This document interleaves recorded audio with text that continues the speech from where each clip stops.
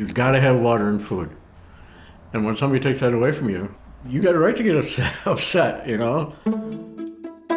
Public Trust is a new podcast from Midwest Environmental Advocates and Wisconsin Sea Grant. Fight the battle, don't give up, um, and be patient. In the first season, we travel across the state of Wisconsin to hear how PFAS contamination is affecting the lives of the people who live here. And experts help us understand what comes next. It's beautiful, and it's been ruined. We want the safe, long term alternative. And we don't want to have to pay for it because we didn't create the problem.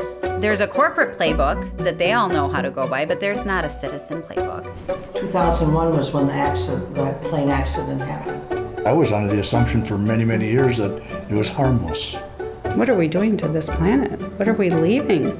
We here in the United States wait till we have a problem and then we try to solve it. If we don't take care of this, we're leaving it for our children, or our children's children.